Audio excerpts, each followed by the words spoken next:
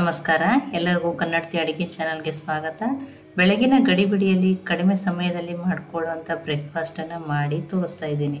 ಇಲ್ಲ ಸೋಡಾ, ಏನೋ ಬಳಸ್ತೀನಿ. ತುಂಬ ಈಸಿಯಾಗಿ, ಟೇಸ್ಟಿಯಾಗಿ ಮತ್ತು ಹೆಲ್ದಿಯಾಗಿ ಮನೆಯಲ್ಲಿರುವ ಬೇಸಿಕ್ ಇಂಗ್ರೀಡಿಯೆಂಟ್ಸ್ಗಳನ್ನ ಯೂಸ್ ಮಾಡಿ ಮಾಡ್ತಾ ಇದ್ದೀನಿ. ನೀವು ಒಮ್ಮೆ ಟ್ರೈ ಮಾಡಿ ನೋಡಿ.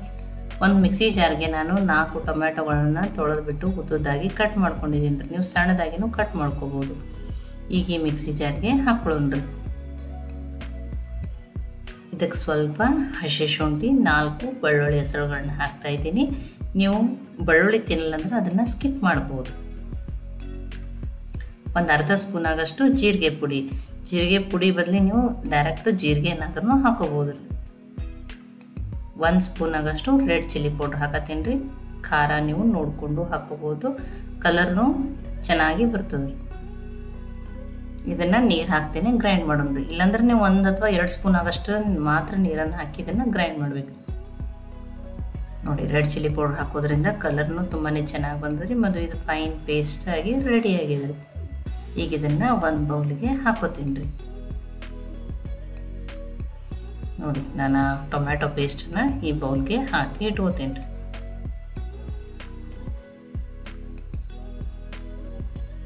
ನೋಡಿರಿ, ಈಗ ಇದು ರೆಡಿ ಆಗಿದೆ ಇದು ನಾನು ಸ್ವಲ್ಪ ಹೊತ್ತು ಸೈಡಿಗೆ ಇಡ್ತಿದ್ದೆ. ನಾನು ಇದನ್ನು ಆಮೇಲೆ ಯೂಸ್ ಮಾಡ್ತೀನಿ.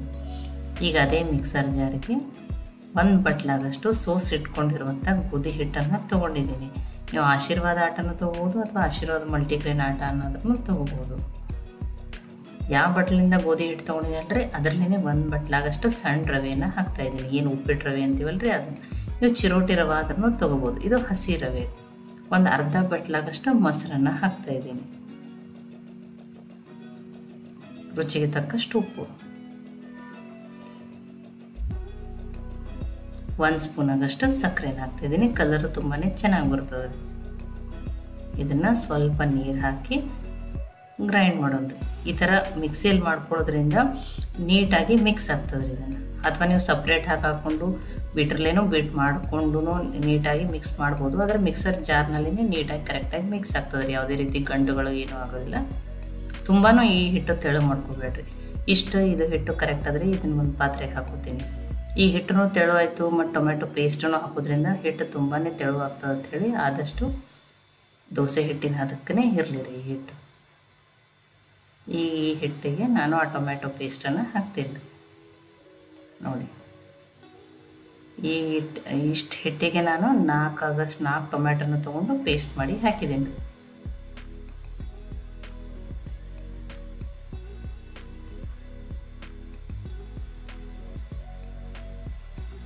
ಈಗ ಇದನ್ನು ಮಿಕ್ಸ್ ಮಾಡೋಣ ರೀ.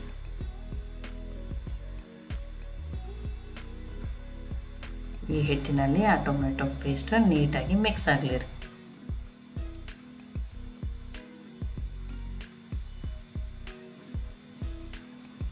ನೋಡ್ರಿ, ಇದು ಕರೆಕ್ಟಾಗಿ ಮಿಕ್ಸ್ ಆಗಿದೆ. ಇಷ್ಟೇ ತುಂಬ ತೆಳುವೂ ಇಲ್ಲ, ತುಂಬ ಗಟ್ಟಿನೂ. ಇದನ್ನು ಒಂದು ಹತ್ತು ನಿಮಿಷ ನೆನಕ್ಕೆ ತೆಗೆದಿಡ್ತೀನಿ ರೀ. ನಾನು ಆಮೇಲೆ ನಿಮ್ಗೆ ದೋಸೆ ಹಾಕಿ ತೋರಿಸ್ತೀನಿ. ನೋಡ್ರಿ ತೆವೆ ನಾನು ಕಾಯ್ಲಿಕ್ಕೆ ಇಟ್ಟಿದ್ದೀನಿ ರೀ.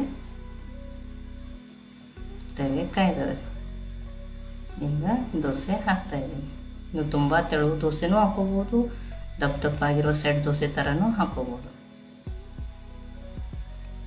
ಸ್ವಲ್ಪ ಎಣ್ಣೆ ಅಥವಾ ತುಪ್ಪ ನೀವು ಯಾವ್ದು ಬೇಕಾದರೂ ಹಾಕೋಬೋದು.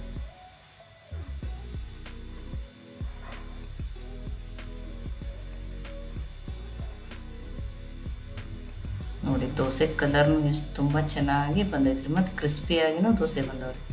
ರವೆ ಹಾಕಿರೋದ್ರಿಂದ ಕ್ರಿಸ್ಪಿಯಾಗಿರ್ತಾವೆ ನೀವು ಇದ್ರಾಗ ಒಂದು ಎರಡು ಸ್ಪೂನ್ ಆದಷ್ಟು ಅಕ್ಕಿ ಹಿಟ್ಟನ್ನಾದ್ರೂ ಹಾಕ್ಬೋದು. ಇಷ್ಟೇ ಕ್ರಿಸ್ಪಿ ಬರ್ತಾವ್ರಿ ಅವನು ದೋಸೆ. ನಾನು ಇನ್ನೊಂದು ದೋಸೆಯನ್ನು ಹಾಕ್ತೀವಿ ತೋರಿಸ್ತೀನಿ ನಿಮ್ಗೆ.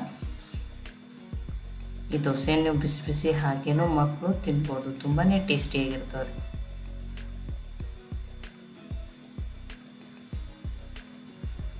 ನೋಡಿ. ಈ ದೋಸೆನೂ ಎಷ್ಟು ನೀಟಾಗಿ ಬಂದದ. ಬಿಸಿ ಬಿಸಿ ಟೊಮ್ಯಾಟೊ ದೋಸೆ ರೆಡಿ ಆಗ್ಯಾವ ಬೆಳಗ್ಗೆ ನೀವು ಇದನ್ನು ದಿಢೀರಾಗಿ ಮಾಡ್ಕೋಬೋದು. ತುಂಬ ಟೈಮೇನು ಬೇಕಾಗಲ್ಲ ರೀ ಇದನ್ನು ಇದು ಗೋಧಿ ಹಿಟ್ಟಿನಿಂದ ರವಾದಿಂದ ಮಾಡಿದ್ರಿಂದ ತುಂಬಾ ಹೆಲ್ದಿಯಾಗಿರುವಂಥ ದೋಸೆ ರೀ. ನಾನು ಎರಡು ದೋಸೆ ನಿಮ್ಗೆ ಹಾಕಿ ತೋರಿಸಿದ್ದೀನಿ ಈ ರೆಸಿಪಿ ಈ ಬ್ರೇಕ್ಫಾಸ್ಟು ನಿಮ್ಗೆ ಇಷ್ಟ ಆಗಿತ್ತಂದ್ರೆ ಲೈಕ್ ಮಾಡಿ ಶೇರ್ ಮಾಡಿ ಕಮೆಂಟ್ ಮಾಡಿರಿ. ಖಂಡಿತನೂ ನೀವು ಇದನ್ನು ಟ್ರೈ ಮಾಡಿರಿ. ಮತ್ತೆ ಒಳ್ಳೆ ಒಳ್ಳೆಯ ರೆಸಿಪಿ ಜೊತೆ ಸಿಗೋಣ. ಎಲ್ಲರಿಗೂ ಧನ್ಯವಾದಗಳು. ಕನ್ನಡತಿ ಅಡುಗೆ ಚಾನಲನ್ನು ಸಬ್ಸ್ಕ್ರೈಬ್ ಮಾಡಿ ಬೆಲ್ ಐಕಾನ್ ಪ್ರೆಸ್ ಮಾಡಿರಿ.